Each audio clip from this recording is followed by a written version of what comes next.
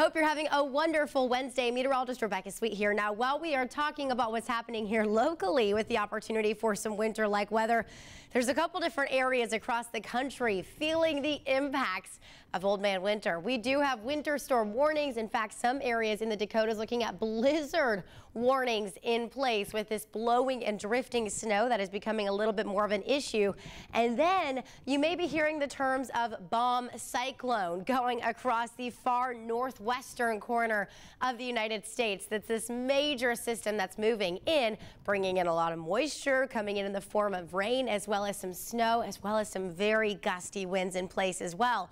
We're going to be watching our area, watch this low pressure system that's kind of pushing its way across the Great Lakes, continuing to churn as we go throughout the end of the work week. The question is, folks, how far south will some of this moisture go? Now, keep in mind, we are going to have this cold air in place.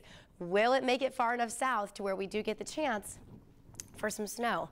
Models are continuing to show a little bit more confidence in this. So basically snow to the east, snow to the west, the central plains, fairly quiet right now. Although high temperatures today will be coming across as above average, we will continue to see much cooler weather returning as we go throughout the end of the work week. If you have any travel plans going into the weekend, temperatures for your Friday will be back into the 40s and 50s, warming up into the 60s and potentially into the 70s, especially if you travel a little bit further off to our west.